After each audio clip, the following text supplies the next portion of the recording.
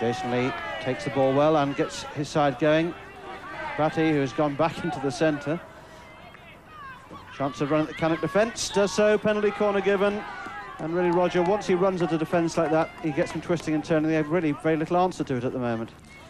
Not many people have, really, and if he gets on a bit of a roll, uh, he's often criticised for not giving the ball early enough, but at the end of the day, he's one of these guys that uh, enjoys the dribble, and that's why he's in the side. And I think the last time he showed the game, there was 15 corners, and he won about eight on. Somebody's got to put him in the back of the net eventually. We're on the second one now. Richard Gibson looking to strike at the top of the circle, unless it's moved. Uh, the ball. Gibson is with the strike, took a deflection. Wesley got down and blocked it. But really, that deflection could have taken the ball anywhere. So no early success for East Grinstead from their two corners. But still enjoying the bulk of the pressure and the territorial advantage. Now Batty again. Edwards held him up well. And Batty this time penalised. Didn't like the decision, but... He never does. he's not alone in that, Roger. No, he's not. He's not the first one. Very technical game, uh, hockey, of course. I'm sure Batty will have seen that totally differently to the umpire, but for my money, sitting up here in the box in this elevated position that we enjoy, it was Batty's stick that came into contact with the defender rather than the other way around.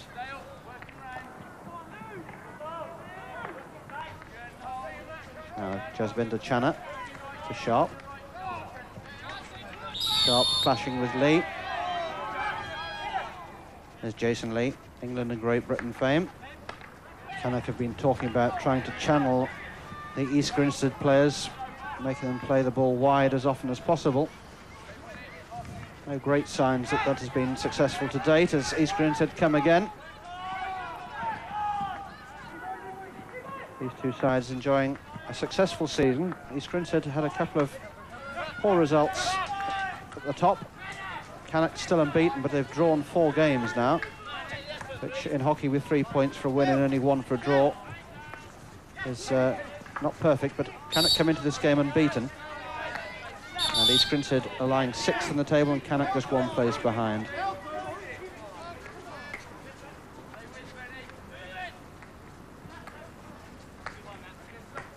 Roberts in for Pidcock.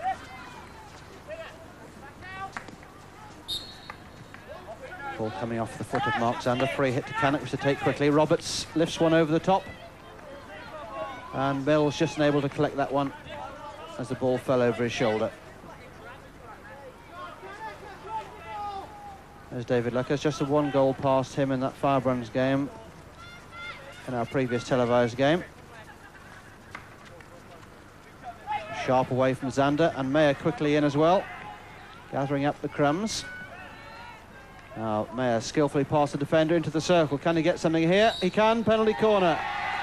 And that's really the first time that Chris Mayer's been able to extend his run into the East Grinstead circle. And just as with Batty at the other end, the warning signs are there. So Cannock's first penalty corner. We've had some 16 and a half minutes of this first half. Still no score, but Cannock's first corner opportunity. Still there. And it's in. Beautifully taken as well. Edwards it was. Paul Edwards there. Cannock celebrates, and well they might. A well-worked corner, exposing the East Grinstead defence, and just gave Edwards the angle to beat Luckes from some 12 yards. Roger. Well, that's the sort of move that the coach uh, is delighted that happens. Uh, the first corner, a lovely bit of skill by Chris Mayer, which developed the corner in the first place gave really the defender no chance, turned him inside out, got the corner, and then the most beautifully constructed short corner move. An original one, as far as I'm concerned. I don't seem to have seen that one before, and it worked perfectly and puts the one goal ahead, having really been not in the game up until that point, which is uh, uh, always important in hockey, when, in any game, when a side's ahead on points. If you can get that goal in when it's against a run of play, it's so important. Exactly the same as the game against Firebrand, same sort of situation, really. Yes, fair comment. I just hope we don't now see the same sort of game that we saw when Firebrand sat back on that one-goal lead. In fairness to them, they needed the result that day and, and got it. But it didn't make for pretty or entertaining stuff to watch. No, I don't think that'll happen today. These sides aren't like that, and uh, you've got too many skillful players on the field to allow that to happen, I'm sure. There's the Cannock bench. The substitutes off, off it, warming up, but I don't think there are any injuries down there that I can detect. I think it's just a matter of the coach trying to keep the boys warm and a little bit of extra adrenaline flowing through them after that wonderful goal just a few seconds ago. So something of a sucker blow for East Grinstead to really have dominated the early exchanges. Cannock with their first corner, and it was a good finish. Now Roberts skillfully for now for Mills. Mills trying to just dink one in for Terrett. Well read there by Mullins. And it's pretty competitive stuff down there. In the player profile at the top of the show, you will have heard Chris Mayer saying these games, East Grinstead and Cannock are always tight. Always just a little bit of niggle around. And I think we could be in for a very lively game here indeed. Two very experienced sides, everything to play for. They're both just off the the pace at the moment at the top of the Pizza Express First Division. But a result today could well close some of that gap. Yes, it wouldn't take very much to get both these sides back in contention. Just a decent run, a couple of good results, as you say, and they'll both be back uh, pressing for the top three. East Grinstead boys were just, well, just a matter of seconds, Roger, I gather, away from beating Havant a couple of weeks ago now. Last hit of the game, I think it was. It's very tight. We saw Havant up here on the Sky Sports Hockey Special beating Stourport virtually with the last hit of the game as well. So, So- ho hockey's a 70-minute game, and the first second and the last second are of equal importance. Same player as well. Callum Giles. Callum Giles, yes, yes. Goal of the month, wasn't it? It was indeed, yes. And we've had a few good contenders for this one, and that Yeah, corner will be another one. Now, Mayer. And penalty corner number two. East Grinstead's defence just in a little bit of disarray there. Ben Sharp and Chris Mayer linking well. And they need to concentrate hard in that East Grinstead defence. Just lost a little bit of their discipline in the last few minutes. The goal has obviously rattled them a bit. 15 minutes of this first half still remaining. And it's another move, sharp. Edwards this time with his back to goal. Mayer with a chance, flicked it in, but the whistle's gone. I didn't see what that was for, Roger. I think it was offside. Offside, right. Now head bundled over, and I think that'll be problems for Sharp. Indeed, it will. Peter Broughton on the far side, pulling him across. The umpires stamped their authority on this game very early on, and they haven't shown any signs of letting go of it.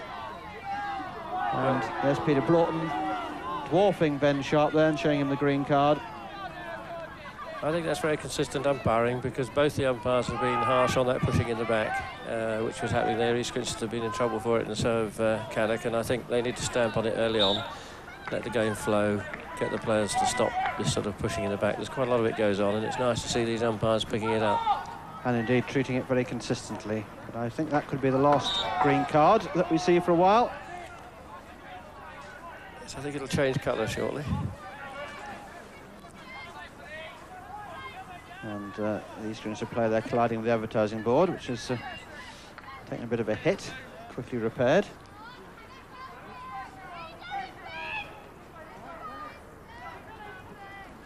Sharp penned back by his own corner flag. And a good steal there by Grinstead into the circle, looking for something. Penalty corner, good skills there, Zander. Well, you were talking about indoor hockey earlier, Nick. That was a typical indoor steal. And uh, it now needs East to come up with a short corner routine and somewhere in the region of Cannocks because they've got to, they keep getting corners and not uh, not making them count. And in hockey, you've got to make one in three, one in four count. Well, I hope it's not an omen, but against Firebrands, they seem to have, well, it was countless at, towards the end. I think it was 18 corners without success. Maybe today will be different. Now, head. Good save, but it's in. The rebounds there. They get it right on this occasion. First shot was blocked by Wesley, but the ball came back, and no mistake. Richard Gibson, the scorer. Good centre forwards goal. That's sniffing, looking for the half chance, and when it came back, he put the ball on target. He got the ball high as well, and that ties it up at one each.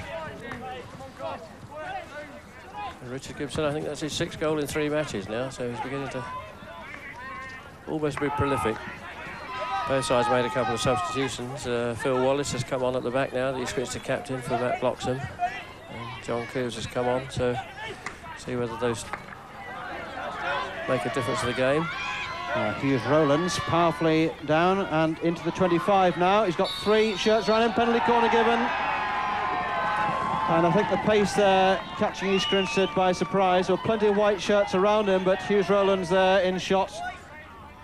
Tall, rangy player, and showed good control there. Well, it was a decision which uh, East Grinstead debated. Luckes did well with the save, and this time the clearance is a good one.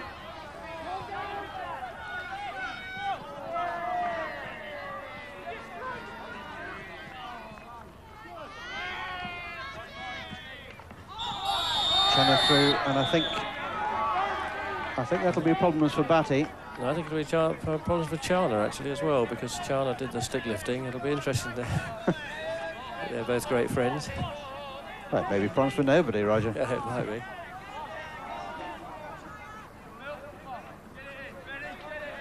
Oh, there's problems for the umpire. They haven't done anything to either of them. well, perhaps they were as uh, unsure about what has happened as we obviously were. Uh, anyway, Mills down that left-hand side. Seconds ticking away to half-time, just about quarter of a minute left. Interesting first half, full of endeavour from both sides, and no little skill.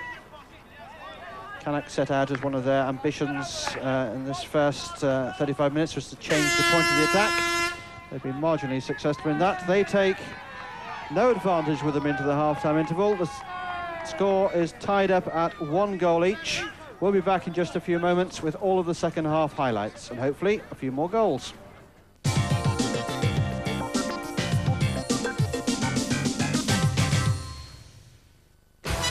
You're watching Sky Sport. Half underway. If you were with us before the interval, you'll know that there's everything to play for. Scores absolutely level. Cannock taking the lead in the 17th minute through Paul Edwards, and the equaliser coming in the 24th minute through Gibson, Richard Gibson for East Grinstead. So one goal each. Joining me in the commentary box today is Roger Dakin, former, former coach of East Grinstead also a former England indoor goalkeeper. Roger, did you enjoy the first half?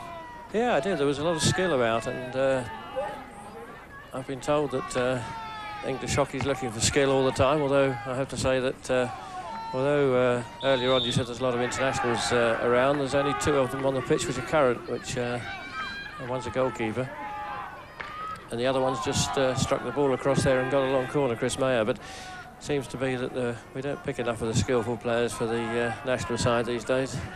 But there's plenty of them on view today. That's Chris Mayer. Again, banging that ball in, but just getting underneath it. I don't know whether it's because the hands are cold, but there have been one or two crosses that have gone in in the air, which have been something of a waste. Certainly very fresh. Mercifully, the snow has held off. We've got the lights on here now as well.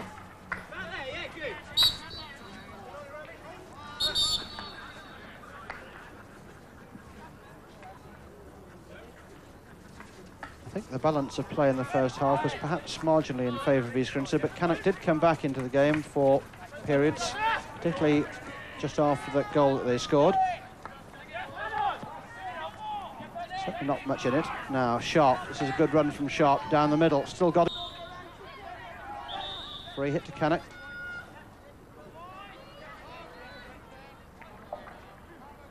Oh, Mayer. Cannock will be pleased the way they've kept Mayer quiet. Just that one run that led to the first corner that indeed led to the goal. And an opportunity late in the game when he had a one-on-one -on -one with Phil Wallace and rather made poor fist of it. Uh, here is Wallace. I'm sure he'll be pleased to be back playing again. A very frustrating time for him.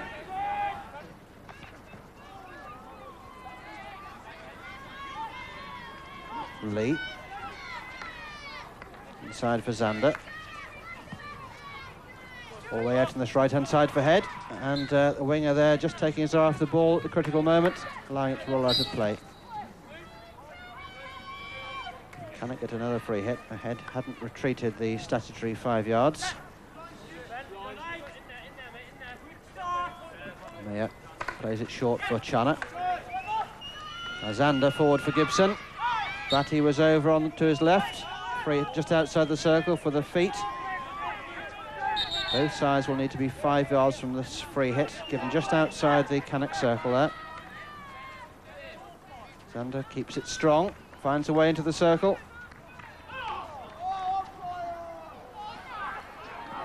And a 16-yard hit given. It was all, all arms and legs there. Zander kicking himself. Would have wanted to make more from that, Roger. Yes, I think he would. I, and I think he thought he had, but uh, he didn't have the ball quite under control. He just let the ball run half a yard too far forward, and that was what uh, cost him the opportunity of getting either a telling pass or a corner.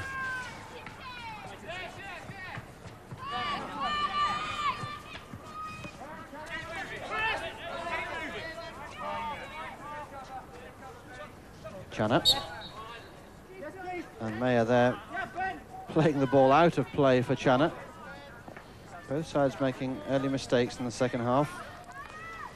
Yeah, it is a very cold day and there's a little bit of snow coming down and I think that some of the forwards are finding it's difficult to get their first touch going. Ah, sharp. Nice one for Hughes Rowlands. Good defending there by Barnes, but the whistle goes. Free hit given to Cannock. There's Hughes Rowlands. A couple of good runs from him in the first 35 minutes. Probably not enough from Cannock's point of view. Uh, Pidcock turning into trouble. And the free hit goes in East Grinstead's favour. There's a great tackle there from Zander. Important position. Wallace throws the ball forward, but it was a long and hopeful pass for Batty, who was hiding a little bit behind Roberts, waiting for the ball to come to him.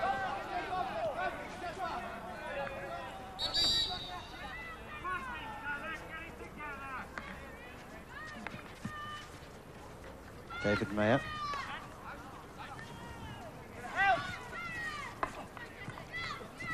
Jazz Channa down in front of us. There's Channa, good skills from him. Sharp for Channa again. It's all a bit tight down this left-hand side for Cannock. Good skills from Channa, good advantage played also by the umpire. Mayer into the circle. Luckes did well to put the block on. Still Mayer, penalty corner given.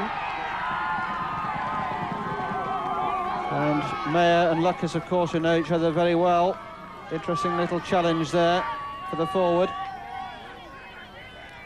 Well, that was a beautiful bit of hockey, all brought about by Jazz Chandler's skill down this left-hand side. He opened up that three players all around him and suddenly he was in space, hit a beautiful ball across the middle and uh, put the pressure on the East Grinstead defence. Ah, there's the push out. It's more orthodox than one we saw earlier on. It's gone in!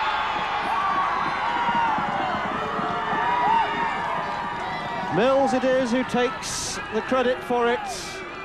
The ball broke on this left-hand side, and John Mills, as he does so often for Cannock, in the right place at the right time, and forcing it home high past the defenders to put Cannock back ahead.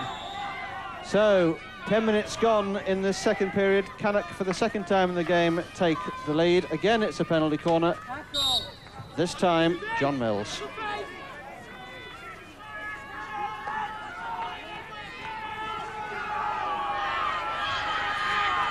Roger, again, a little bit against the run of play. Well, it is, but it just shows how I was saying earlier on how important corners are. East Grinstead have had five and scored one. Cannock have had three and scored two. And uh, I should think Malcolm Wood is sitting on the bench very happy at the moment because every corner is very dangerous for, for. Very nice, simple work moves. And uh, East Grinstead back on the attack, though. Now Bloomer in for Verdi. Verdi into the circle. And the whistle went on. Batty and a snapshot there by Batty, but cannot get it away. I thought uh, East Grinstead were on the verge of a corner themselves, Roger. Uh, they should have had one there, without a doubt. That was a, a wonderful riposte from East Grinstead. Now Barnes on a run all the way through, but just went one too many. Now this is dangerous for East Grinstead. Cannock. And that's obstruction. Cannock on the break. Now head. Head past Channa, did well, but not past Sharp. Now Rowlands losing out, Head and Batty, Verdi ahead of them. Batty off the foot of Channa, free hit to East Grinstead. More urgency now, of course, from East Grinstead. Into the circle. And again, a snapshot, but Roberts doing well. But the penalty corner's been given. His feet on the edge of the circle there as Dale Mullins came for the shot. Roberts just caught his ankle just inside the D. And there'll be great discussions at the top of the East Grinstead circle there. Dearly like to get one back here. Now, see if young Barnes can keep this push out on the floor. I'm sure his father will be ribbing him about that earlier one. There's the push out. Wallace took a deflection. Where's this down. A Penalty stroke. Yes, the ball up into Channa's body. And Channa on the goal line. Needed his body to keep it out. So umpire McQuater there just pointing out to Paul Edwards that he was perfectly well placed, as indeed he was. And it'll be a penalty stroke. So an excellent opportunity for East Grinstead to tie things up. There he is, Jason Lee, entrusted with this shot from seven yards. The Lee against Wesley. I think it's East Grinstead's first penalty stroke of the season. Right, Lee in white, Wesley the giant in blue. Almost fills that goal. And Lee makes no mistake, ties it up at two each. No more than East Grinstead deserve. Jason Lee there. Boldly going into the top of the net, beating Wesley from seven yards, ties it up. Two goals each, and Roger, this game living up to its billing. Well, it is. I mean, East Grinstead coach uh, Andy Barnes will be absolutely delighted with the way they came back from that goal because they very, very strong pressure. I mean, that uh, situation that brought the uh, penalty stroke was built about by Dale Mullins, the left half on the left-hand side of the circle. So, uh, an all-out attacking position. And both teams still absolutely going for the win. There's no signs of anyone saying, well, OK, we'll stick with the point. And uh, that was a looked like a good tackle there, which was penalised. Important time for the to umpires way to keep themselves going now as well, while the pressure gets on.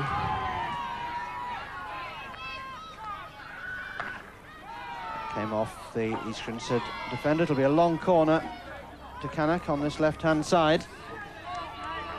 Really has been a super game of hockey, this. Channa. It's his skill that set up Cannock's lead.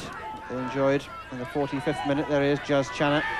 Also, I thought Roger Channa has run an excellent bit of umpiring because Channa did have his stick platted. Umpire quite rightly allowing play to go on, where very often we've seen the whistle going and everything broken down. And it was a lovely cross from Channa, of course. There's another good break here. Now, gaps opening up in both defences. Good defence there by East Grinstead. Ed gets the free hit, takes it quickly. Everything done at 100 miles an hour at the moment from both sides. Hughes Rowlands, nicely past Batty. But Zander's got it. Now, this is Verdi. There's a tremendous amount of skill on view, view today, Nick. There is, and I think uh, considering the conditions, both sides should be very, very pleased with the way their respective teams have played.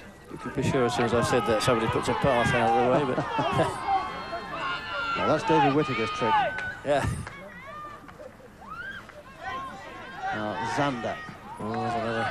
Bad pass there from Zander. Just tucking the ball under his arm, perhaps a little bit lazily. Now Edwards. Beautifully balanced now. Two goals each. Still got 20 minutes remaining. Channa to Sharp. Hughes Rowlands. Deceptive pass there. Looking for Sharp. And Rowlands there just buffeting into Bloomer. It'll be a free hit to East Grinstead that Phil Wallace will take. As Wallace. Verdi Slipping it inside for Head. Nicely done by him. Now Lee. Poor ball there from Lee. Just overpaced, didn't it? Well, there was a good break on there. If that ball had found Batty, Cannock was stretched.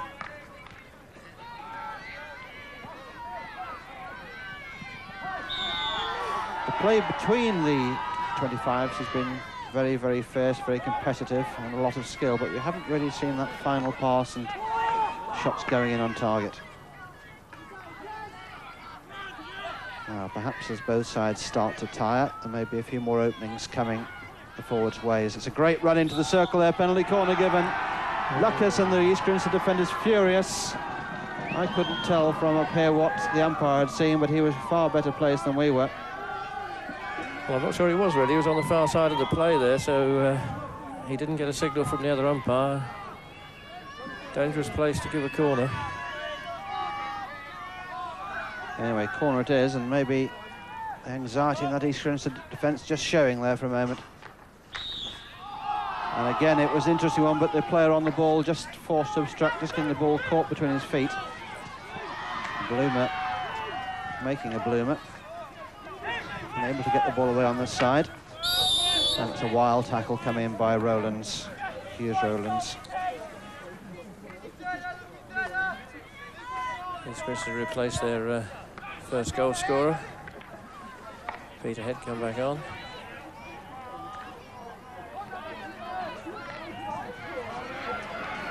It's a good tackle there by Roberts. It's Cooves. Forward for Mayer. Barnes has coped with Mayer rather well, I think, Roger. Yes, he has. Uh, A break on here as Edwards misses out. Batty on just why Wesley Fine did well. Wesley did well. Credit to the goalkeeper there, closing Batty down, narrowed the angle, and the shot when it came in from Batty, just deflecting off the big Cannock keeper, and out for a corner. And that was a chance, a real chance. Zander, it's all very tight. Uh, Hughes Rowlands has come back to help his outnumbered defence. that was a good tackle by Hughes Rowlands there. An early ball from Zander would have uh, created big problems for Caddick there. Now. And brilliant take there by Verdi. And play pulled up, ball coming off the foot of, of Batty. Uh, it was good umpiring though. Alan McQuater didn't see it. Peter Broughton, the other end, was alert to it. I think they've had a good game, Roger. I don't know whether you'd agree with me, but they've worked as a team and they've let the, the players get on with it on a cold day. And the fact that we've had a good time up here, I think, is partly due to the, the skill of the umpires. Not too much whistle. No, they've done pretty well. It's not the easiest game in the world to do. Lovely skills there. Batty just chopping his stick over the top of the ball. Now in for Verdi. Can he find a way through? He might do here. Oh. And the free hit given, a penalty corner given, in fact. It was just outside the circle, I think, initially. Now, seven and a half minutes to go. Wallace this time it's left, and the save on the line by Channa was a good one, but the whistle had already gone. Well, Sharp comes back into the action to the roars of the Cannock contingent here in the crowd. So Cannock back to 11 men.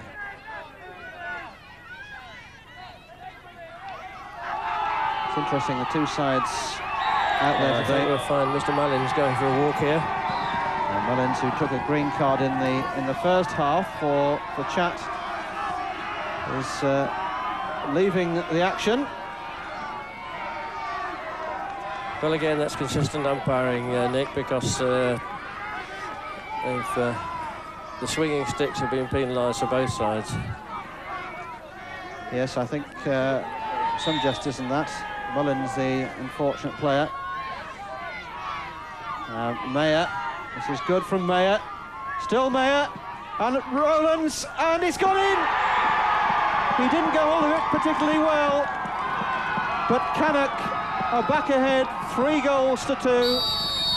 It was Mayer's strong run and Rowlands' finish, and I don't think that East Grinstead's woes are over yet. They are down to 10 men. They are three goals to two behind. Pidcock. Just frustrating. East been a lot of- Grinstead, they need to get the ball and they've got to go route one. They've got it. predictably, Cannock close it down very quickly. There's been a lot of great hockey in this game. Cannock bench looking anxious, but they can celebrate in a moment. And it's not all over yet as far as the action is concerned. It is now. The whistle goes. Cannock have come through to win this very, very exciting Pizza Express Premier Division game by three goals to two. A thoroughly entertaining game, I hope you agree. We'll be back after the break with all the rest of the Pizza Express League results and a look at those very important league tables.